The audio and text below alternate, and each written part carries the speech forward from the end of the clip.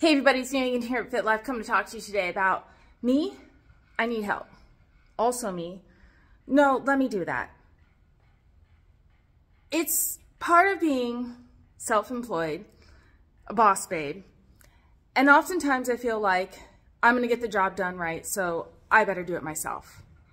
And on our fitness, health, recovery journey, as we try to better ourselves, sometimes that means asking for help, delegating tasks, and letting your guard down in a way that says, hey, I only have one of me, or you know, you know that someone is better suited for a job, better at that, you know, task at hand, and just letting yourself go, you know what?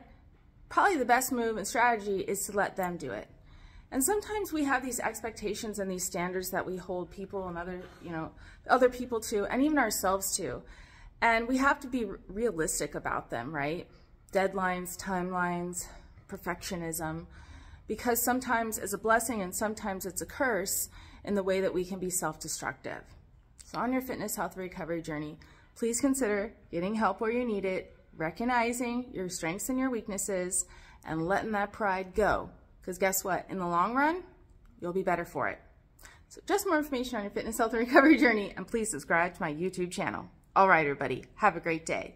Thank you.